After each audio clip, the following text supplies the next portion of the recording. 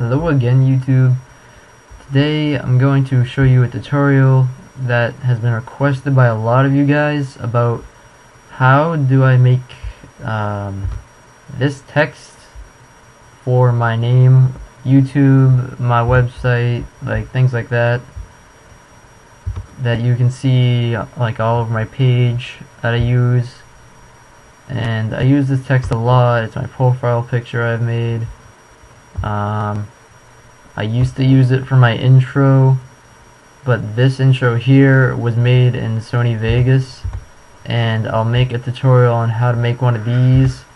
If you have Sony Vegas if even if you don't I have another way using this video on how to make this intro like that but it won't be looking just like this. It will be a bit different but it'll still look pretty good. It will look pretty much like my old intro used to but I'll make a video about that sometime soon hopefully. But um on the bottom of this video you're gonna have some links and you're gonna need to click on the one about GIMP because you're gonna need this application to do the text. So go ahead and the first thing you're gonna need to do is get GIMP. For your computer download that and open that up. Well I don't know. You shouldn't open that up. Just download it first and now and then come back to this. You're gonna need to go to the second link and this will be the Modern Warfare COD Modern Warfare 2 Modern Warfare 3 text. It looks like this and you're gonna need to download this to, compute to your computer and install it. I already have these both on my computer so I'm not gonna need to install them so once you have done both of both of the, these things downloaded and installed them both you're gonna go over to GIMP you're gonna open that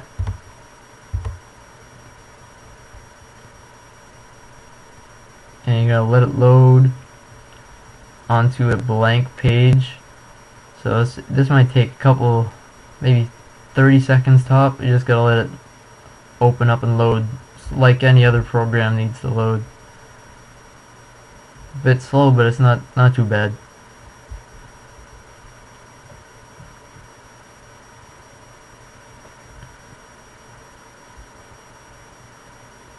Alright, once this loads, you're gonna want to go to uh, new.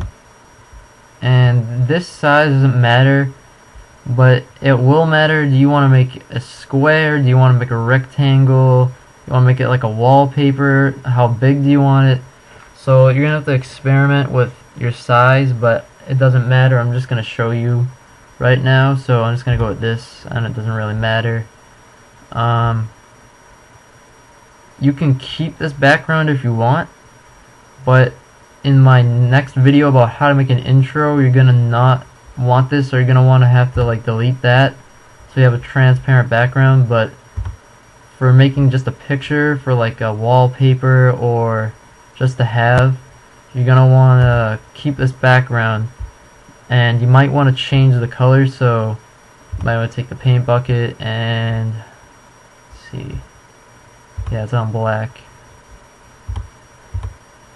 So now it'll be black. So once you're done with that, you're going to take the text tool and you're to pick a place to put it and most likely in the middle probably. So I'm to make one of the pictures that I've made.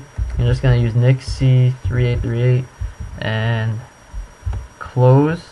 Going to go to color and just to go to white so you can see it first of all and you're gonna need the white color it's an important part and now adjust your size to what you want move it around to the place you want it and now you're gonna go over to this button click on the font and you're gonna let it load and you're gonna go up to the B's because this is how it goes it's alphabetical and you're gonna need to find that BT Bank Gothic however you say it alright right here no, it's just called Bank Bank Gothic MDBT. That well, basically that. And I change your text should change, so you're gonna make it big enough so you can fit it all. Make sure it's centered the way you want it. and then just close that. Now you're gonna click on the layer of your text. And what you're gonna do is press this button here. It's got two windows. It will. It basically shows two of these same things, and it's gonna say duplicate. You're gonna want to press that button at least once and probably twice. So once you've done that, you should get these two other ones, and it'll say the text that you've named, and it'll say say number one, and it'll say number two. What you're gonna do is select the middle one. I'm gonna go to filters, alpha to logo. I'm gonna go on neon, and depending on how much you want of neon in your picture, depending on the size of your text and your picture, you're gonna pick the size, the effect, the amount of neon that'll be on the text. And you go with this Modern Warfare look text. You can move this around like that. And you find the right you, right color you want. You're gonna click OK. I'm gonna wait. And you're gonna get this. But here's the problem. It only did this and now the rest of your picture has disappeared.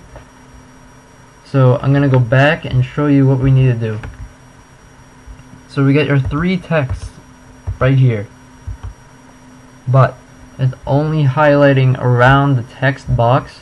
So what you need to do is go to each, make sure highlighting each of your texts. You're gonna go to layer, you're gonna go down to layer to image size. And now it's highlighting the whole entire picture. Now we're gonna go to each one, so I'm on the second one, layer, layer to image size and the same thing for the last one.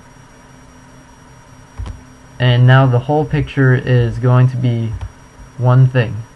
So now we're going to go to filters alpha to logo and neon.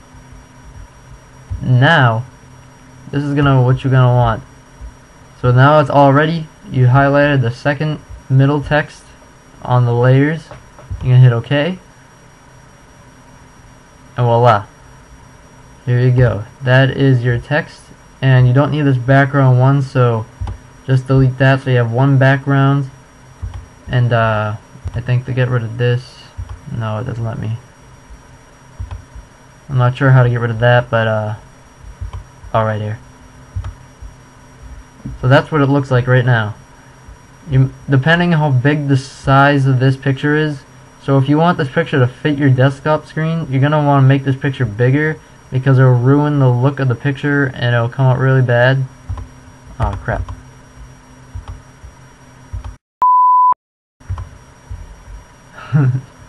uh, there, I can't mess around with that one.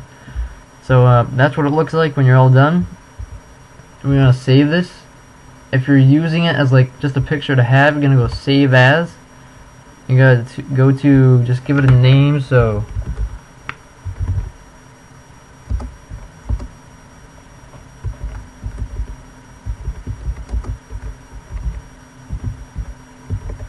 Something like that maybe. And you're gonna save it in your pictures of course or wherever you want it to be. I'm keeping it in pictures. And uh, select file type this is an important part when you're in GIMP, it, choose, it gives you all these choices for what type of picture it's going to end up being. So if you're keeping as a picture to have, a picture for maybe a wallpaper, whatever you want to do with it, the best type of image for that would be a JPEG file, and that'll be .jpg, and look like that. And if you're going to make it transparent, which I'll show you in my other videos, you're going to need to find PNG which is right here. It says PNG image. You're going to select that. But we're just using it as a picture to have so we're going to keep it as a JPEG. You're just going to hit save but I already have this so I'm not. And that's basically how you get this Modern Warfare glowing neon text for Modern Warfare COD style looking text so that's pretty much it. Thanks for watching